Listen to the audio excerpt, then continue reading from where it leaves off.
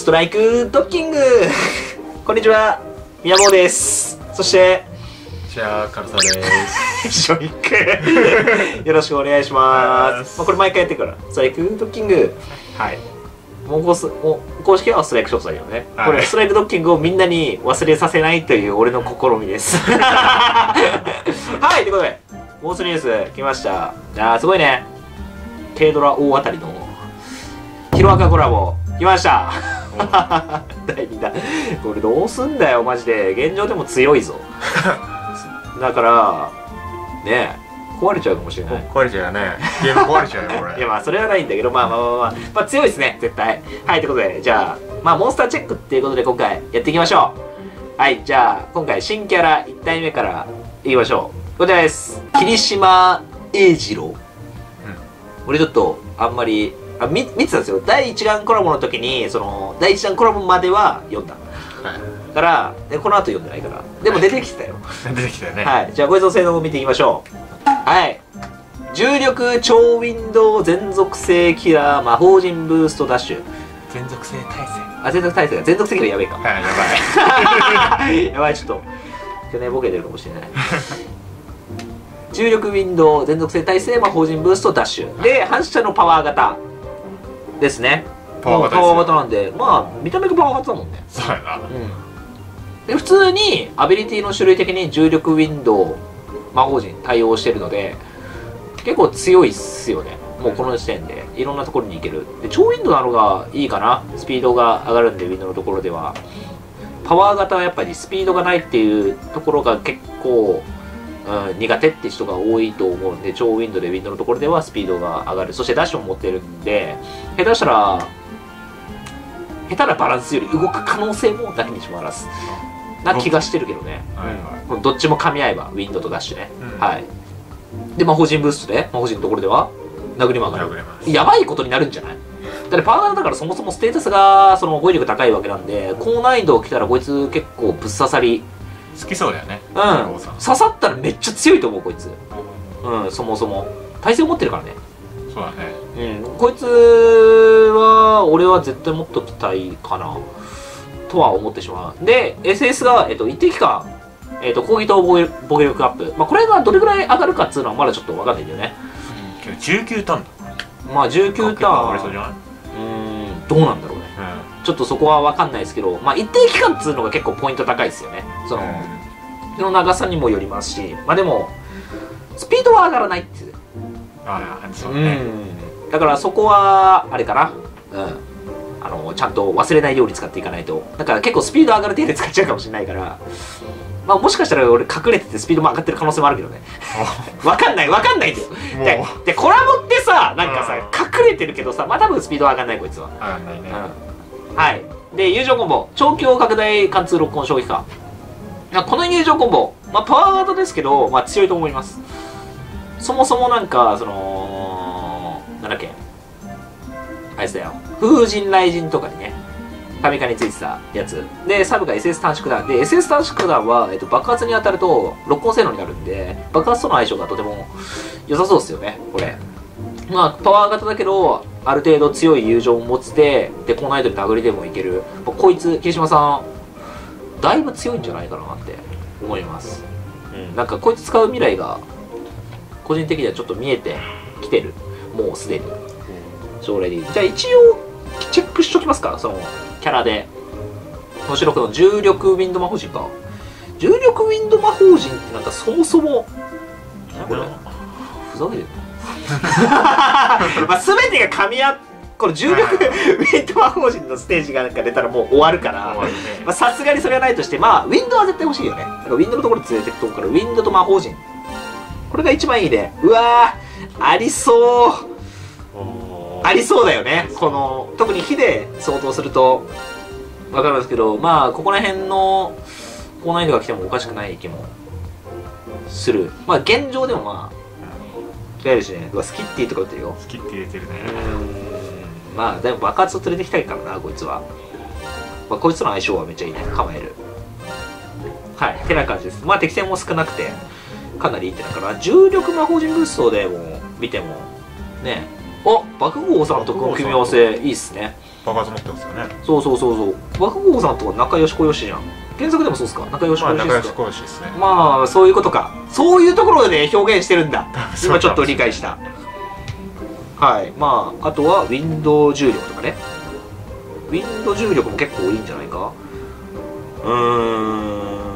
反射だったらこの中でも12位を争うレベルで強いような。一番のライバルはまあ信玄になってくるけど、まあ、こいつも爆発持ってるからなんなら一緒に連れて行きたいレベルな気がするんでマジでこの適正見てる感じでもやっぱり強いっすね。こいつは。ゲットしておきたいキャラ個人的には。思います。はい。じゃあ次のキャラいきましょう。はい。続いてのキャラはこちら。貴族性の創造やおよよろず。やおよろずももももすごい。僕僕知ってるんですけどちょっと父親最近読んでないんですいません知らないです。山本さんね。ザ・クリエイターってことですか？そうそうなんで、まあそういうことですね。うん。はい。じゃあ見ていきましょう。はいということで貫通バランス型。で状態上回復。重力バリア。アンチブロック。アンチ減速壁。なんか貫通バランスっていうとやっぱ最初にやっぱ俺ねクラピカが出てきちゃうっていう病気なんで。結構いるんじゃない？そういう人。うん。でね。まあこれ結構強そう使いそうだなって個人的には思いました、まあ、そもそも重力ブロック減速壁、うん、この3つやっぱアビリティ3つ持ってるっつうのはね武器ですからね。これは強いじゃないですか。で状態上回復でね状態以上も対策もできると。でストライクショット。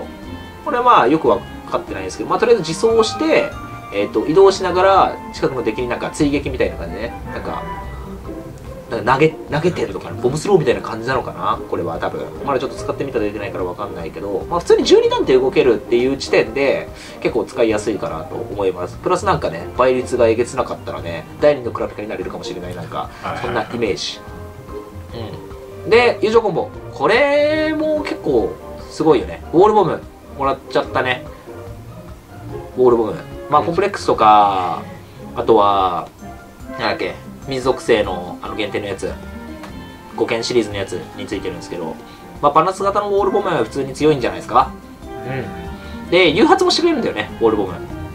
そこが使いやすいかな。威力も出て敵にで誘発もしてくれると。そしてサブにスピードアップ。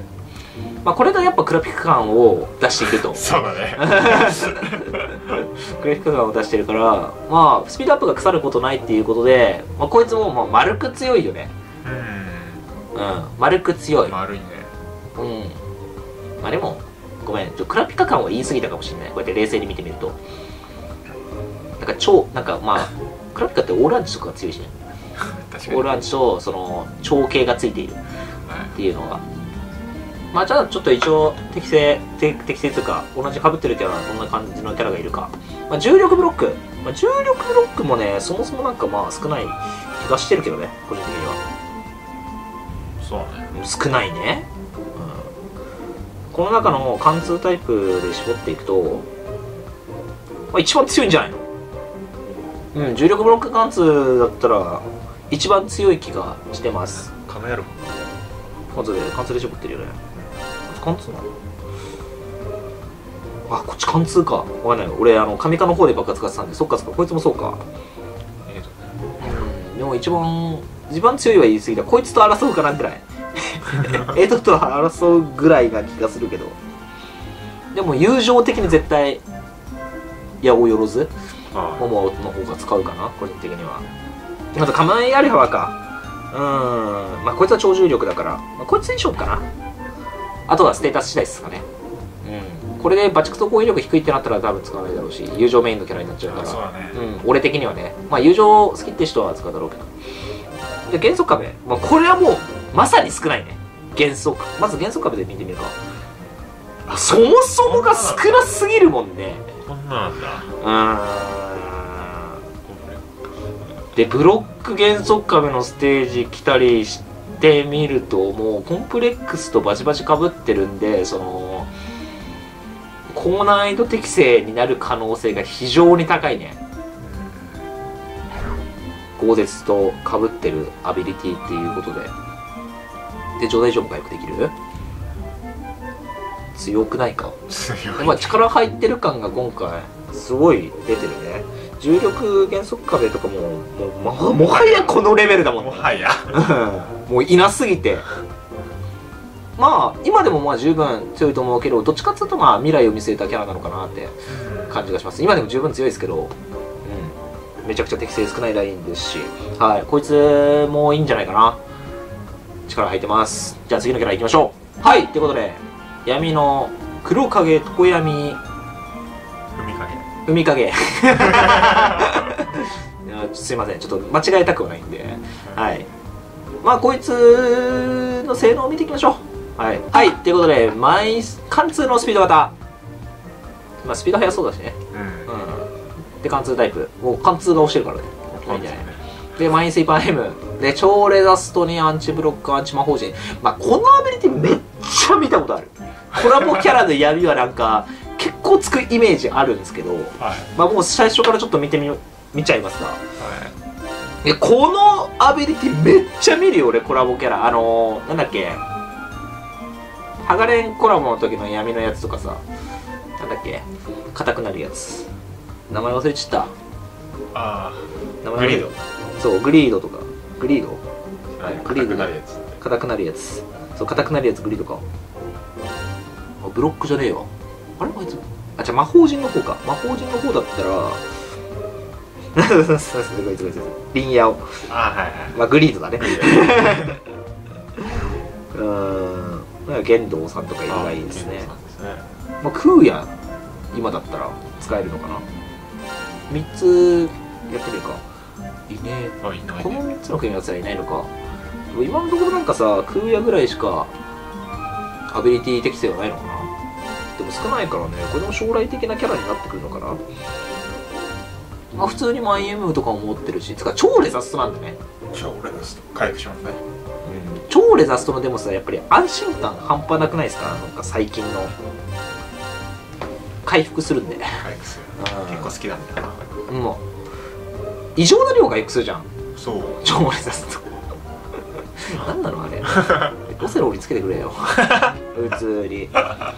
まあ普通にこうやって見てみても適正少ないラインなんでアビリティしかもみ、まあ、この3つ持ってるっつうのはね、まあ、どれか1つでもハマれば使っていけるんでいいんじゃないかな、まあ、マインはライバル多いんで魔法陣とえーっと、まあ、魔法陣勝負になってくるかな。ブロックもそこそこ増えてきたよね。ググニルアルファとかいうあたおかのやつをおるからうん。ブロックで勝負ってなると。はいはいまあ、だからマインブロックブロック魔法陣での勝負になってくるような気がしてます。うん。もう少ないもんね。うわこことかなんか、まあ、現状でも使えそうだけどね。うわそうまあ、結構適性少ないところを埋めに来たなって感じがしてます、まあ、実際だとクーヤ、うんで SB いますか？これ強いよね。8ターンで打てる自走。はい。で近くの敵に黒き腕の何クラクラ。クラクラリ。クラクラリっていう。クラクラリでいいんじゃないですか。ちょっとすいません。はい。えっ、ー、とまあまあ自走部分だけでも評価できる。すでに。うん。でプラスなんかしてくれるということなんでまあこれも使ってみたら楽しみですね。はこれえげつない時もあるから実は。パターンはいいよね。うん使いやすいからいいと思います。で友情コンボが4反射分裂弾4反射分裂弾はなんかちょっと個人的には使いづらいかなうん。まあ、サブの反射衝撃波12もまあ条件。配置とかしっかりしていればめちゃくちゃ威力出るんですけど。うーんまあ正直このキャラ友情コンボっつうよりは殴れる安定キャラなのかなで置いといてもレーザー超レーザースとして回復もしてくれるしって便利キャラになりそうな気がしますね。はい。じゃあ次は重心抱え見ていきたいと思います。はい。ということでデイクの重心抱え来ちゃいましたね。来ましたね。早かったな。ブルーズウルトラデクちゃん。はい。じゃあ見ていきましょう。はい。ということでデクの性能を見ていきましょう。反射超パワー型。まあ超パワー型強これさマジで線形の章行っちゃった人ちょっとかわいそうだな。いやほんまにそうもう。ん、明らかにはなんか早かったからうん。来るまで、だって1年経ってないでしょ？うちょうど1年ぐらいか。そうだぴったりぐらい。だあぴったりぐらいか。そう。1年ぐらいだ。そっかそっか。そうだフラパがそうだ今回は後ろにずれたからちょっと勘違いしたわ。去年のフラパで発表されたコラボだったんで、まあ、ちょうど1年ぐらいで重心化開始しましたよとはいだからちょっと使っちゃった人はまあどんまい切り替えて忘れよ忘れ忘れ。うん忘れよう忘れよう。でアビリティで魔法陣レザストでアンチブロックバイタルキラーを持っていると。で魔法陣が追加されたんかな？はい魔法陣追加されてますね。なのでまあまあ追加されたのはいいことですよ。はでコネクトスクリーンに移動したのがあれですね。超アンチワープカウンターキラー。結構大事な部分ですね。もともと素に持っていた部分をコネクトスクリーンに持っていてしまった。で、まあ、コネクトは絶対発動させたい。で発動条件が自身と戦型が異なるキャラが3体。なので全タイプ入れなきゃいけないのか。い結構めんどくさいかな結構面倒だね、うん、バランススピード。バランススピード砲撃って入れなきゃいけない。んでまあここは考え結構考えなきゃ。だ威力変わってくるからね。余裕で。そうだよね。うんなので確実に発動させたいんで1体しか入れられないかな。まあ1体で使うパターンが多いと思うんで別にいいとは思うんですけど。うん。でまあ完全にアビリティ見て分かる通りねオセロリスペクトなんでうん、でもオセロとは連れていけないんですよ。やっぱライバル的な立ち位置。でもデクが先に獣神化改してくれたってことでえっ、とえっ、とオセロの方が獣神化改後に来るじゃないですか、まあ、オセロは完全に、えー、とデクを超えるなって僕は確信しました。いや完全に確信したよ。まあ順番的にね。そうそうそうそう。ででレーザーストップもついたのか。レーザーストップは完全だってオセロリスペクトじゃん。あそうだね、う それは完全にそう完だね。全にそうだからもう、うん、完全に意識してるところあるよね。うん。まあでもこいつの方がブロックと魔法陣持ってるんでいけるところ多いですよっていう。まあでも SS が走ったり打ってるんで実質どこでもいけるんで。はい。まあそれは冗談としてまあ普通に強いですで SS ですね。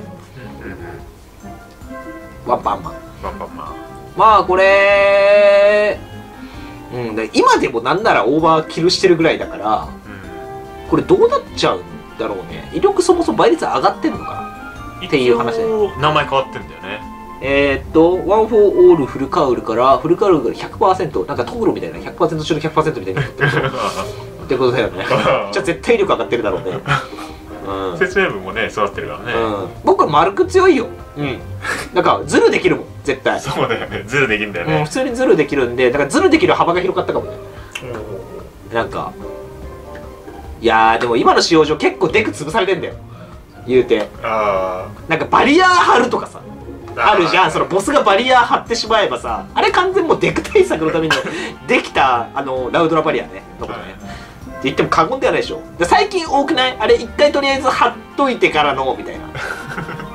あれやかましいよやなかましいね。だからもうそこでもう対策されちゃってるからどうなってしまうのだか。からもしかしたらもうぶっ飛んだやつになってるかもしれない。そうだからできるところでやればぶっ飛ばせるところかもしれない。うん。今回来る超急遽の区のやつとかね。相手火ですけどこいつでもうワンパンする可能性もなんかなきにしもある。でもあいつがバリア張ってきたらもうあこれやってくれたなって思った方がいいね。まあとりあえず楽しみですね。はすごい威力が出るんじゃないかなその代わりコネクトは絶対発動させたい。威力が変わってくるんで SS ではい。ってな感じかな。じゃあ次のキャラいきましょう。はい。ということで爆豪の獣神化改見ていきたいと思います。反射の超バランス型ででアビリティが重超重力に減速壁が追加されました。そしてアンチブロック、まあ、それはもともと持ってた。で SS ターンチャージも追加された。でコネクトスキル。アンチ魔法陣。これはもともとあったやつですね。で正規シキュラーが追加されたと。でコネクトの発動条件が攻撃力3万以上のキャラが2体以下または自身と種族が異なるキャラが2体以上。うーんなんか今の時代ちょっと攻撃力3万以上のキャラが2体以下しか連れていけないのさ。い。は俺はきついな、いきちい。うん、俺はきつい。パワー中だもんなお前は特に。うんだからうんだからそもそもなんかもう時代的に語彙力が上がってってるからこれ難しいんで、まあ、もう一個の方がメインになってくるのかな。種族が異なるキャラ2体以上。味んですよねそう味なんで他と組み合わせちょっと見てみますかこれは。さすがに。いやねやっぱコネクトさやめてくんないかな。ちょだから考える時も大変じゃん。俺はい検索する時もこのコネクトを含めるもさこれクリックしない癖あんだよ。重力でしょ。重力ブロック減速壁、まあ全部が噛み合うとこないとこれいないしね重力減重力ブロックは多いかな。3万以上のやつが大概よ。多分。身で持っちゃってると思うしみんな。だから小町だってもう素でも3万以上じゃん。ベートーベンとか今更連れてく？ベートーベンは超えてないわ。ベートーベン連れてかないよな。今の時代。わかんないですけど。僕は連れてかないですね。だってナタとか嫌がるでしょ。3万ジャスだよ。フォーメラー？はえ？フォーメラー。フォーミュラーもたあフォーミュラーはいいわ。でも絶対こいつ大概身持ってるでしょ。そうだね。俺がうんフォーミュラーと組み合わせられるけど大概身で盛る気がするからな。難しいところになってくると特にね。だって難しいところ語彙力ないとはちょっと話にならないじゃん。こいつ友情メインとして多分使わないじゃん。そうだねそもそも友情メインで使うんだったらこのコネクトスキルはまあ発動させやすいのかなとは思うけど攻撃型で組み合わせればいいからなんか語彙力低いより。でもこいつ殴って結構生計立ててるパターンだと思ってるんで個人的には。プラス友情が強いちょっと強いみたいな感じ。まあだいぶ強いけどね。だいぶそうい。う城之内との組み合わせかなやっぱり。いやにしてもやっぱこの3万を意識してやるのはだいぶきつい気がするんですよね。個人的には。まあこれは原則壁で組み合わせられるやつなんですけど。まあだってもうこの辺とか明らかに超えてんじゃん。絶対ダメだね。絶対ダメ。まあこいつは原用だからねそのやっぱ異なる種族の方であのやっぱり、うん組み合わせて。いく感じにはなってきそう。ゼホンとかもね。こいつもさ俺わかんない。身で持ってるからさたまに余裕で超えてるんだけどさ。あこいつもいいじゃん。妖精と原用いいねあざとの組み合わせがすごいしやすそうね。原用との組み合わせ。すごい少ないから。やっぱこっちでやる方が多多そうだね。発動させるなら。そもそも味に少ねえな。このライン。強いキャラでいうとマチュピチュも魔人だしね。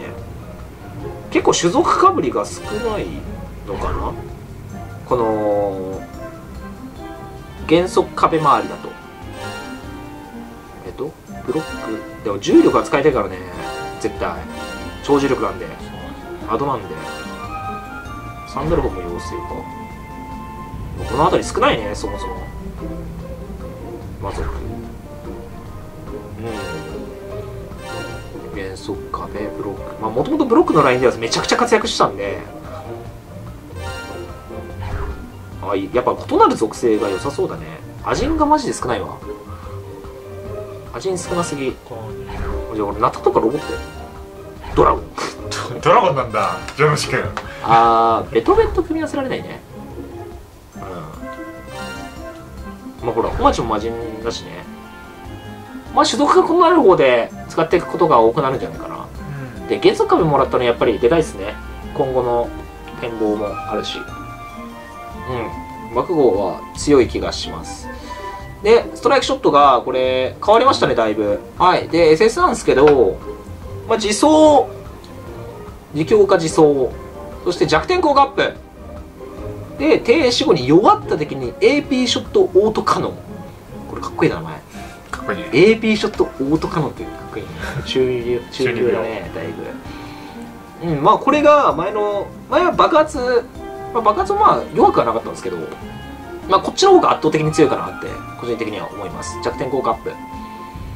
して追い打ち、まあ、弱った敵にだからね。雑魚残っちゃうと大概雑魚に行っちゃうからそこだけはまああれなんですけどこれの威力も気になるところですね。だいぶ。でなんか誘発するとかなんか言ってなかった？あれっていうかね。うん。誘発するってなったらう最後のが爆発っぽい感じだね。ーん。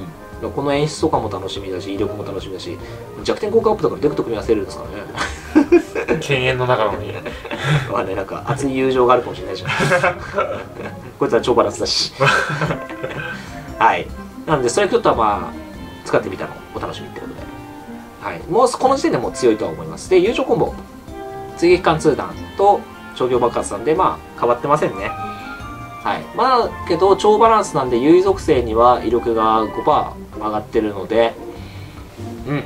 まあ丸く、まあ、爆発持ってるし便利なんじゃないかな今の時代。はい。じゃあ次のキャラいきたいと思います。はい続きは轟ショートの重心化回でございます。超攻撃型。爆発とのもう相性がもうバチバチにこれももともとしちゃってた人いるかもしれないね。うん。超攻撃に。友情めちゃくちゃ強かったんで。忘れよ忘れよ忘れよう。でアビリティなんですけど超アンチダメージオールが入ったことによっていけるところがだいぶ増えた結構メイン並みのアビリティついたんでだいぶ増えたんじゃないかこれで。いけるところ。で魔法陣ブーストと状態上回復はそもそもついてたんででコネクトスキルにマインスイーパーの方が移動した。でこれの条件なんですけど合計 HP は9万5000以上。または自身と撃手が異なるキャラ2体以上で HP がね9万5000以上大概いくんですよ。まあ小轟ショート自体がね HP 低いんで多分艦隊でやった時にはいかないのかなはいこいつ艦隊だといかないんでまあオセロと組み合わせてください 間違いなくいきますねはい、間違いなくいくんで。まあだから1体か2体ぐらいはまあ、なんか、高 HP のやつを連れていくか、まあこいつで、まあ無理やり身を激盛りすれば多分行くんじゃないかな。っていう感じなんで、まあそこは皆さんの使い方次第で身は考えて連れていけば、コネクトスキルは比較的発動させやすい部類なので、2種類もありますしね。まあ、コネクトスキルは今回はこれはいいんじゃないかなと思います。まあ普通にマインダメを魔法陣。この3つはいいね、まあ、今回のキャラ全部に言えることなんですけどそのアビリティがやっぱりね優秀おすごいすげえ立ってたこれ いね。えいねえんだこのライン。このラインいねえの。いそうでいないの。いないか。でこれか。マインダメを。このライン強っ。だってこれボンセとかもいるんでしょ？あーこのライン強いわ。ライバル多すぎ問題。でこいつ友情キャラだからーんだから友情で見てったら一番強い感あるね。ああはいはいはい。あすいません。友情言ってなかったんですけど調教ブレスと調教評価なんで変わってないですね。前と。はい。で超攻撃型になったってあれです。うーんこの中だったら友情一番強いんじゃないの？多分一番強い。パッと見た感じ。俺は勝つのが好きだけどね。まあでも尖ってるからあれは。尖ってるからね。尖ってるうん尖ってるからね。まあ爆発誘発でこっちはで威力減衰ないからね。はいはいはい。まあプラスえっ、とまあ魔法陣ブースト使いたいよね。優勝力上げたいから。ラグリーもそうだけど。なのでダメを魔法陣でも見ていきますか。少ないね。うん会話コラボキャラをコラボキャラ多いね。こいつとユウスケ。ユウスケですけど会話俺会話最近使ってたんだよなではシンジかシンジ塾コラボキャラしかいないじゃん。こいつは映画キャラか。戦時は映画キャラ。特殊なところだなこれ。特殊なライン。うんなんか絶妙になんか。こんなクエスト出せないでしょじゃあもう。こんなクエスト出せないね。現状だと。なのでなさそうですね。しばらく。このクエストはなさそう。あ。さすがになんかあのー、なんだっけ。なんだっけ。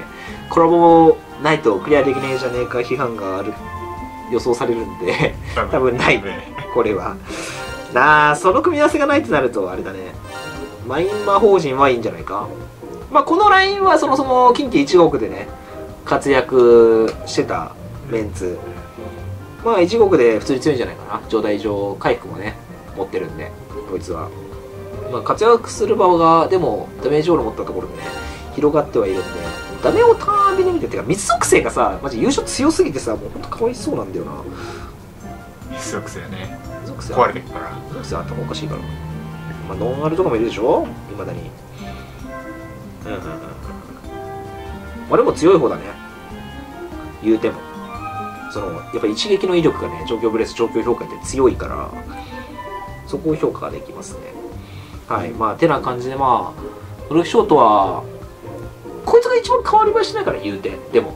うん。なんかこれストライクだとデクも変わっあでもアビリティ2つ出てるな。うんストライクショートは一緒？一緒でしょ？あんま変わらなかったと思います。はいストライクショットなんですけど、えっと、スピードパワーアップが入ってからの名前がっただけか。ボーレーレねボーレネッパの攻撃、まあ、なんか火を使ってるみたいだね今回ははい、ということで、トロックショートをまあ見てきたんですけど、まあ、アビリティもね、追加されて良くなったんですけど、まあ、こいつね、その、まあ、友情もね、丸く強くて今まで通り使っていける。で、超ダメージオールがついたことによって、まあ、殴れるキャラにもなったのかな。で、この、もともとのステータスがね、27,946だから、まあ、ダメージオールのところだと、まあ、さらにここからね、ダメージオール触れれば倍率かかるんで、まあ、殴りキャラとしても活躍していく機会が増えるのかなとは思います。まあ、でもやっぱりね、こうやって全体的に見てる感じだと、やっぱり、重心化回ってやっぱり、あれだね。やっぱ超線形の部分が一番でかいんで、はうん。まあ、あとは SS かな。い、SS がどんだけ威力出るか。はい名前変わってますからね。これ原作ではこっちのが、こっちの方が後に出てくるやつだよね、多分。ちょっと、あれなんですけど。なので、ちょっと期待ですね。威力に、これの、バイレスとかも変わってたら嬉しいけど、うん、まあそのまま12ターンで早めに打てるんで、はい。まあ、楽しみですね。演出がやばいから。演出やばそうなんだよなこれなんかさ、遅延とか入ってくんねえの？か なこれ隠れ、隠れ要素で、なんか、SS。隠れなさすぎでしょこっち入っちゃったら。いやね、え敵に亡霊で、亡霊で熱波で攻撃とかさ、もう、亡霊熱波って使ってる時点でもう結構、なんか濁してる感ない？わかる？なんでも。隠すじゃん、すぐ。こういうコラボキャラってなんか。ね隠したがるよね、うん。隠し要素があるかもしんないんでマジでそれはちょっと使ってみたお見なきゃわからないんでそれを待ちましょうはいということで今回の、えー、と6体かな。そうだね。はいガチャから今性能み出てきたのははい見ていきましたけどまあ他にもねその UA コインとかでゲットできるキャラたちが3体。はい。とまあ、あと星4号もいるし4号も楽しみなんですよねコラボは。そうだよね。うん強いとは思うんでそこら辺の性能出てきたんでまあなんかまた見ていきたいと思います。とりあえず楽しみです今回俺の中で一番楽しみなのはやっぱ新キャラかな。うん。重心化界のキャラたちもまあもちろん強いとは思うんですけどやっぱ新キャラがねうんやっぱ使ってみたいかな。うん。結構強そうだし。どれも丸くなんかいい気がしてる。で、はい、とりあえず楽しみです。皆さんも楽しみましょう。今のうちにねオーブためためまあとりあえず9月7日に覇者の塔が多分来るんでまあそこだね。早く来てほしい また登らないとな。さっきこの前登ったばっかりなんだな。って思ったんだけど。はいてな感じで。まあヒロアカコラボ。皆さん楽しみましょう。はい。続報待ってる感じですね。はい。はい。ということでご視聴ありがとうございました。ありがとうございました。じゃあ